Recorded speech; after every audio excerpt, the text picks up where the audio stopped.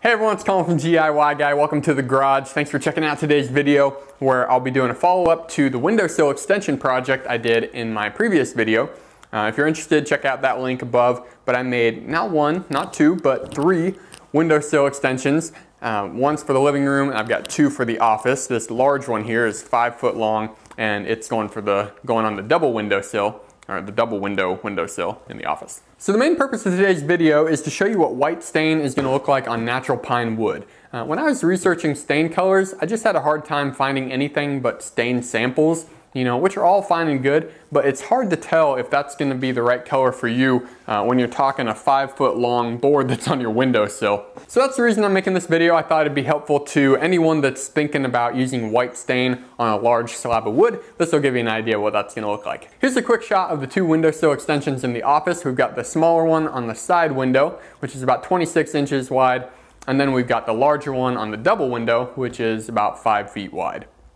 You can definitely see the yellowness of the natural pine. Uh, it just doesn't really vibe with our color scheme going on. We've got a lot of blacks, we've got some weathered oak look, we've got carpet, we've got whitish walls, uh, and so the yellow pine just stood out a lot more than we wanted it to. So the first thing I'm gonna do is take some 220 grit sandpaper and just sand all this down, get some nice smooth finish. Uh, we've got some rough edges here that I'll get a splinter on probably. Um, then we've got some glue residue. You wanna make sure you get rid of that because stain is not gonna absorb into glue. Then I've also got this weird orange kind of a waxy paint mark or something. I Want to get rid of that. Um, but yeah, we're gonna sand it down. I'll do a quick stain, do a time lapse of all that so you can see the color change. And then we'll show you the after shot and call it a day. I'm gonna wipe everything down with a damp rag before we stain it. So here we go, let's start with this one. Uh, we've got uh, the nice clean side on the top. We don't really care about this mark here because it's gonna be on the bottom. Now with stain, I think the longer you leave it on, the darker it's gonna be, but it also works if you do a couple, you know, two or three coats if you want it darker. Uh, I'm gonna leave it on probably five or seven minutes just because I don't want it to dry on me. Uh, I want it to be able to, you know, be wiped up with paper towels, but uh, if after five or seven minutes I wipe it off and it's still not dark enough, then I'll do a second coat and, you know, kind of repeat that until you get the darkness that you want.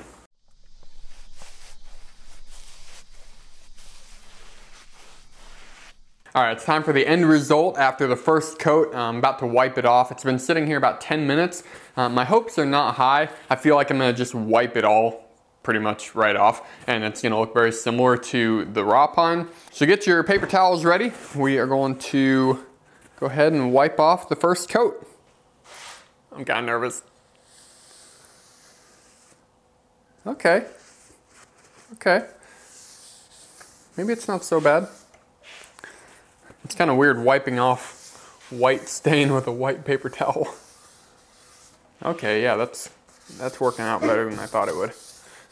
Nice. I probably am gonna do a second coat in a couple hours once this dries, just because I do want it to be uh, whiter than this. Here's a better shot of the three samples. The two in front have been stained white with one coat, and then the back sample has not been stained at all, so that's your, your natural yellow pine. Uh, you can see a lot a lot more of a difference in the sunlight, which is why I wanted to show you this. I think I know what I did wrong on the first two. I did not mix the stain very well, and so I think a lot of the, the white, the white stain part of the stain instead of the oil was, you know, not mixed in well enough, and so basically I coated the first two with oil, or very light white oil. The wood absorbed the oil instead of the white. So this is like this is hugely better than the first two. So I really like this. I, I'm happy with just putting this up the way it is, even after one coat. So there's the trick, who'd have thought? Read the instructions and mix well. I thought I mixed well, I just must not have. This is what I was expecting. I wasn't expecting it to look almost unstained.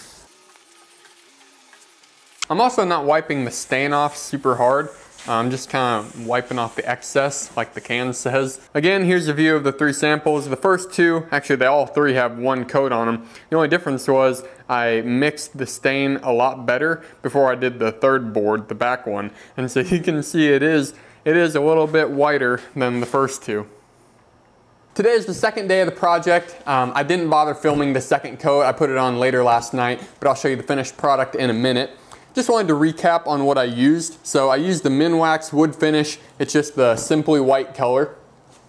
And then for a top coat, which I definitely recommend if you're putting plants on it just to avoid any water damage, uh, a minimum of one coat, probably ideally two coats, but I used polyacrylic, polyacrylic protective finish, and I used just a, a clear matte. That way I didn't get the, the satin shine. If you're into the satin shine, I'm sure they sell that as well. Both of these are about $15 each at Lowe's. Without further ado, let me show you the final result. Here's the finished product. We've got them stained white, just put them up this morning. Those look so much better than the, the yellow tinted natural pine. So those are just, uh, that's two coats of white Minwax stain, uh, Simply White. And here's the one in the double window. Again, we've got a much calmer uh, white look than that yellow pine. Uh, looks really cute with the with the greenery. And then I've I have yet to put these on there. I did put a top coat of a like a surface protector on it, uh, so that'll keep any watermarks from happening. I might put a second coat uh, sometime this week, but it's kind of cold out right now.